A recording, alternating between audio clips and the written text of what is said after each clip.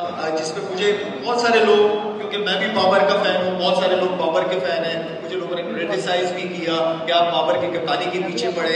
देखिए, बाबर जितना बड़ा प्लेयर इंडिविजुअल है, मेरी ये भाइयों वाली ख्वाहिश क्योंकि मेरे मेरे छोटे भाइयों की तरह ही रहा है हमेशा।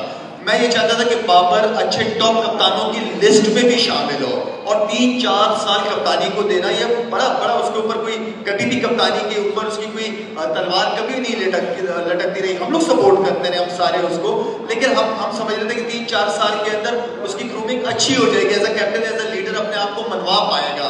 लेकिन ऐसा नहीं हो सका। हमने बहुत सारी गलतियाँ देखी हैं। लीडर को तगड़ा लीडर को टीम को लीड करना लीडर को सबको साथ लेके चलना। लीडर के एक, दो लीडर के वो सारे छह, आठ परफॉर्मर्स होते हैं, जिनको वो साथ लेके चलता है। यूनुस खान अकेले डिसीज़न नहीं लेता था। यूनुस खान हम पाँच, छह लड़कों को साथ लेके चलता था, मशवरा करता था डिसीज़न लेता था।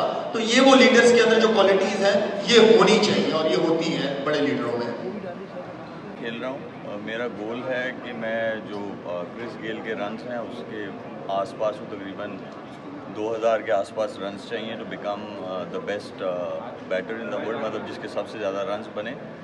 देखिए फ़िज़िकल फिटनेस का मुझे अल्लाह का शुक्र है, कभी कोई इशू नहीं रहा है और ना ना है। हाँ अगर मुझसे बात की जाएगी, मुझे क्लैरिटी दी जाएगी, बोला जाएगा तो आई विल डेफिनेटली कंसिडर लेकिन मैं, ऐसा नहीं है कि मैं उसकी वजह से क्रिकेट खेल रहा हूँ कि मुझे ट्वेंटी ट्वेंटी फोर का वर्ल्ड कप खेलना है वर्ल्ड टी ट्वेंटी जो है, मैं उसकी उसकी वजह से नहीं मैं क्रिकेट खेल रहा।